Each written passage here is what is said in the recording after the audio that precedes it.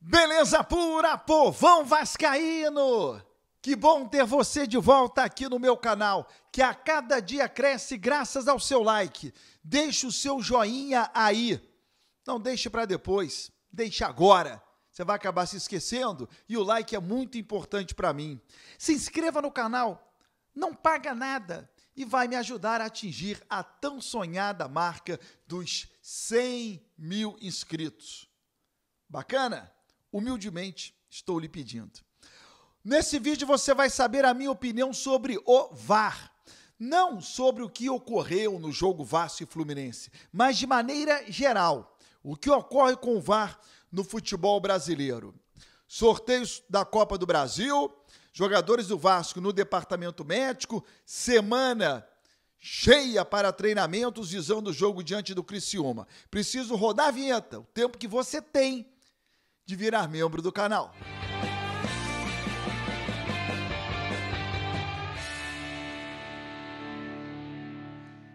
Virou membro do canal? É fundamental. Se inscreva e vire membro, porque aí vem o sorteio de um kit oficial do Vasco, oferecimento da loja gigante da colina. O link da loja está aqui na descrição. Você vai receber no conforto da sua casa a camisa que o Vasco conquistou a Libertadores da América, o título mais importante da história do Vasco. Já já eu falo sobre as notícias do clube, mas eu queria dar aqui a minha opinião sobre o VAR. Gente, o VAR, ele, atenção, ele não foi criado para tirar dúvidas. Absolutamente não. O VAR, ele não foi criado para procurar irregularidade. E o VAR está trabalhando dessa maneira no Brasil. Você tem um lance, um gol, por exemplo, aí o VAR começa a vasculhar de tudo quanto é jeito para ver se em algum momento houve algum tipo de irregularidade. E a partir daí ele chama o árbitro. E aí começa a vaidade do ser humano. Por quê? Os caras do VAR acham um erro. Então eles chamam o árbitro, que não viu no campo esse erro. Então fica a vaidade do árbitro em, puxa vida, pô, será que eu vou ser corrigido? Tomara que não. Claro, o árbitro quer ser assertivo o tempo todo. E o VAR? Pô, eu vi um erro, tô chamando o árbitro. Vou tentar convencê-lo a, a, a, me dar razão. Afinal de contas, pô, eu estou vendo o erro e chamei ele para corrigir. Então, por aí já há um poder ou uma tentativa de convencimento. O VAR tentando convencer de qualquer maneira o árbitro a mudar de opinião para que prevaleça o que o VAR viu, e o árbitro só vai é, é, mudar a opinião se de fato ele for convencido.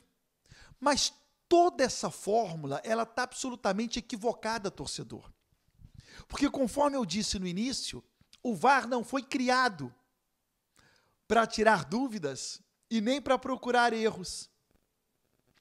O VAR ele foi criado lá na origem para mostrar para o árbitro o erro claro, para mostrar para o árbitro algo que todo mundo viu muito claramente, menos ele. O VAR foi feito para corrigir um erro absurdo e não para ficar procurando erros que ninguém viu. Somente a cabine do VAR com muito esforço. Por exemplo, há um lance muito claro de pênalti. Todo mundo viu, gente, menos o árbitro em campo, um erro absurdo. Aí o VAR chama, o árbitro, chega aqui, muito rápido, dá uma olhada aí, ó. Não gasta nem 30 segundos. Olha aí, todo mundo viu. O cara, olha, é verdade, gente, que erro, hein? Grosseiro. E acerta.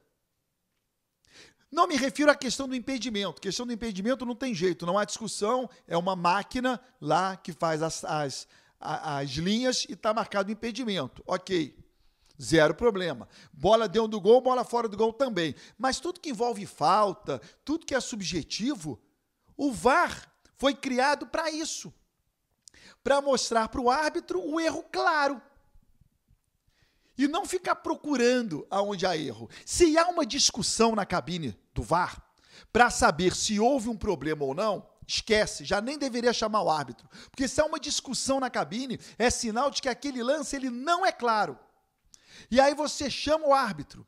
E aí fica uma discussão de um lance que não é claro. Se não é claro, não há que se ter VAR. O lance do jogo, por exemplo, Vasco e Fluminense, o VAR ficou três minutos discutindo se houve um problema. E o Daronco mais dois para ver se houve um problema. Se existe a discussão, não há que se ter VAR. Eu estou falando de algo na origem, de como e por que o VAR foi criado. E eu acho que essa correção ela precisa ser feita. A maneira que o VAR trabalha ela precisa ser corrigida. O VAR tem que entrar no circuito para impedimento, se a bola está dentro ou fora, é, uma, um lance assim grosseiro de expulsão. Agora, os outros lances, pênalti, é, é, gol, se bateu aqui, ou bateu na mão ou não, só se for muito claro.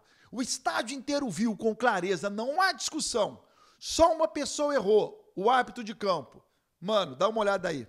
E aí é um lance tão claro, tão rápido, que o árbitro vai gastar 30 segundos para resolver. Ele vai olhar uma vez, puta é mesmo, caraca, que erro, hein? Vai lá e acerta.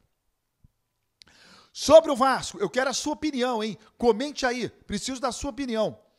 É, sobre o Vasco da Gama. Verrete Maicon saíram machucados contra o Fluminense. Já dei a informação ontem. É o Verrete, tá ok. Não vai ser problema não, mas serão reavaliados hoje pelo departamento médico. Se a reavaliação do Verrete e do Michael vai determinar se eles treinam hoje com vontade, se reserve treina amanhã.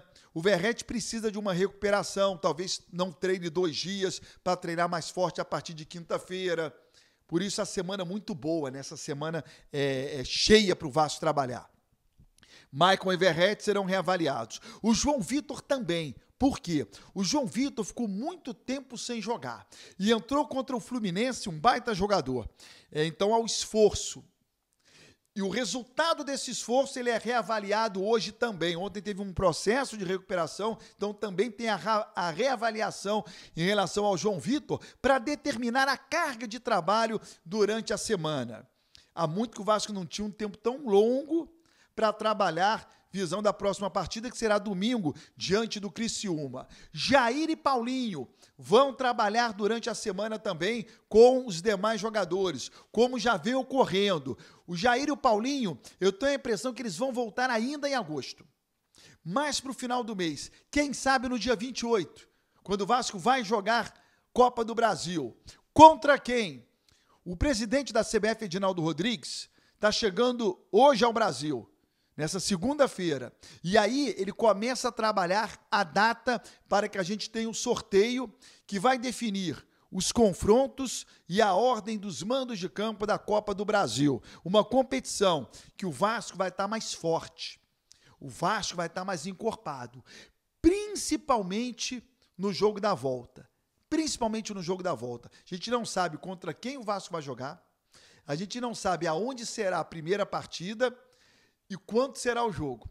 Mas se no jogo da volta o Vasco estiver bem, o Vasco estiver vivo, né? Não sei contra quem, aonde e o resultado do primeiro jogo. O Vasco já vai ter Jair, já vai ter Paulinho, já vai ter o Felipe Coutinho, já vai ter o João Vitor na ponta dos cascos. Será um Vasco bem melhor na sequência da Copa do Brasil. De segunda a sexta, a partir do meio-dia, ao vivo no meu canal do YouTube, tem a Hora do Vasco. Tô te esperando.